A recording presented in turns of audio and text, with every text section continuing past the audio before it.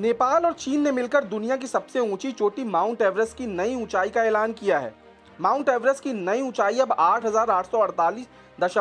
Metre है।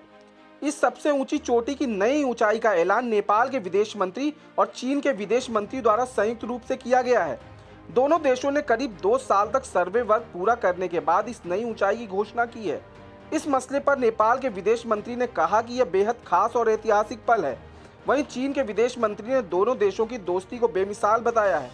आपको बता दें कि माउंट एवरेस्ट की ऊंचाई को अंग्रेज़ों द्वारा पहली बार अठारह में मापा गया था। तब से ही इसकी ऊंचाई को लेकर विवाद रहा है। नेपाल में साल 2015 में आए भीषण भूकंप के बाद से ही यह अटकलें लगनी शुरू हो गई थी कि एवरेस्ट की ऊंचाई में बदलाव हुआ है। हालाँकि अब माउंट एवरेस्ट की ऊंचाई को लेकर विवाद खत्म हो गया है।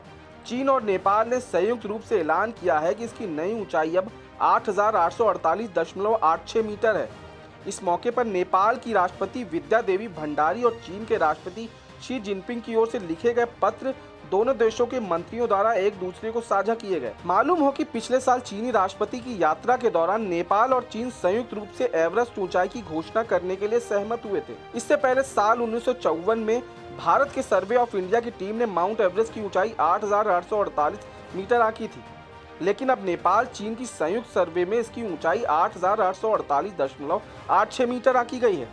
यानी ताज़ा ऊंचाई, पिछली ऊंचाई से छियासी सेंटीमीटर ज़्यादा है।